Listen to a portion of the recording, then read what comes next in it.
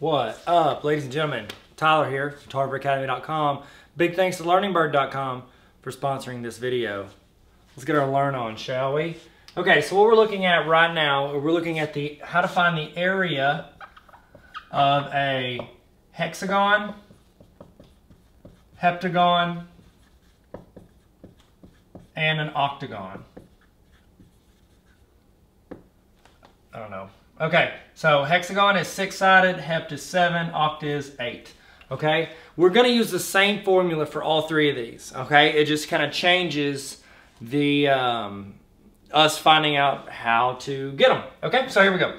Um, so for instance, the formula for area of all three of these is area equals one half the apothem times the perimeter.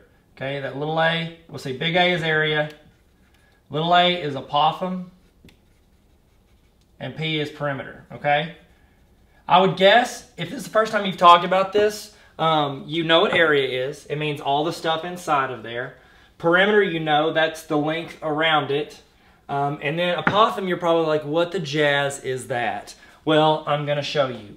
The apothem goes from the center of our polygon all the way straight down to one of the sides. Now you could do it from there to there, any there, as long as it's your straightest point. And we know from our rules of geometry, anytime you go from a point to a line at its, at its closest proximity, it's gonna make a right angle, okay? So you know this is a right angle right here. But that's your apothem, that's your little a, okay? Now, we just need to find out our, our, our big A, which is our area, by knowing the apothem and the perimeter, okay? So for instance, let's say we have on this, we know that um, a side length is 5. Okay? So if this is a regular hexagon, which means all the angles and sides are equal, we know that all these are 5.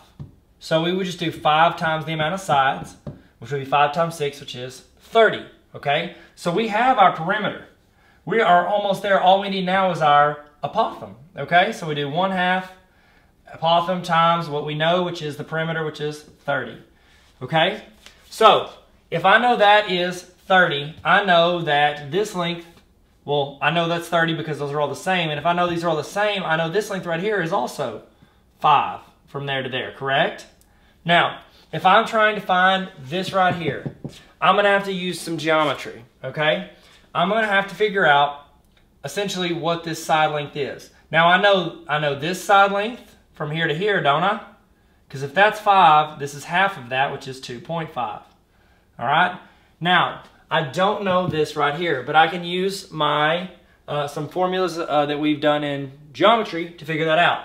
All right. What we do is we split this up to a bunch of triangles. Okay. When we do that, we know that all the way around is how many degrees? We know that all the way around is 360 degrees. Now, if I wanted to find the measure of each of these interior angles right here, I know there's going to be six angles. One, two, three, four, five, six. I just divide 360 by 6, which gives me 60. So I know this length right here is 60 degrees, correct? Now, do I need that whole thing? No, I just need this triangle right here. That's why I only need 2.5. I know my A is one side of my triangle, and then now I know this right here. If that whole thing's 60, I'm cutting that in half, that means that angle has to be 30 degrees. If you don't mind, I would like to transport Transporter 2 starring Jason Statham, that triangle over here. I'm just going to make it bigger so we can see what we know. We know apothem's there, we know that's 2.5, and we know this is 30 degrees. Now we're going to, usually what we'd have to do on these things is use um, SOHCAHTOA, which is uh, KAHTOA, which we know is Sine is opposite over hypotenuse, cosine is adjacent over hypotenuse, and tangent is opposite over adjacent. Um, or if you need something to remember it by, some old hag caught another hag tripping on acid. Don't tell anybody I said that. Um, and so that's what you would use. However, this is what we call a special right triangle. Okay, that means that it is a either a 45, 45, 90 degree triangle or a 30, 60, 30, 60, 90 degree triangle. Which we know if that's 30 and that's 90, this has to be 60. Okay, so we get to use a little bit of math to work this out. All right, so we know our 30 side is always exactly half of the hypotenuse, correct? So we know that the hypotenuse is always double whatever the 30 is. So we would just double that and make that there. And then we know that the adjacent angle to the 30 is always whatever this is times radical 3. So we know that's 2.5 times radical 3.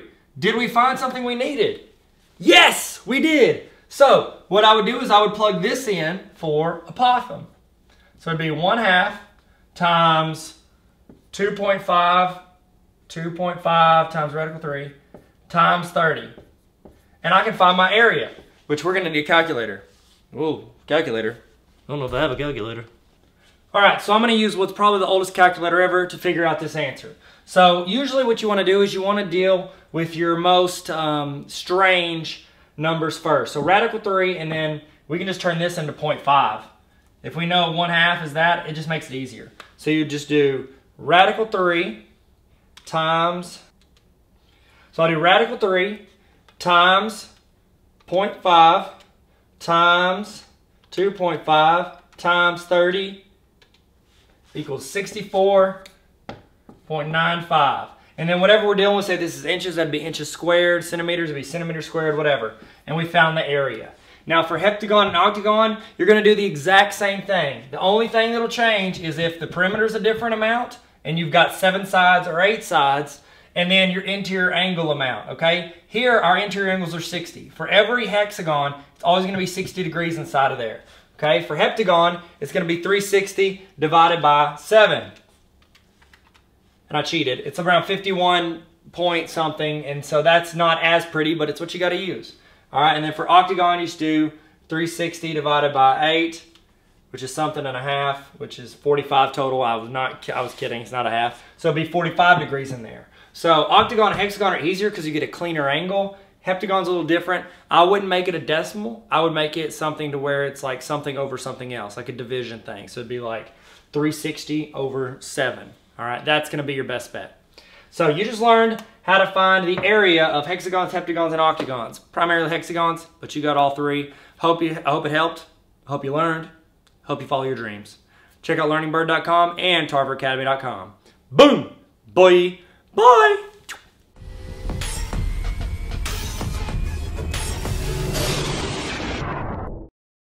Hey, Tyler here. Don't forget to subscribe. Check out tarveracademy.com.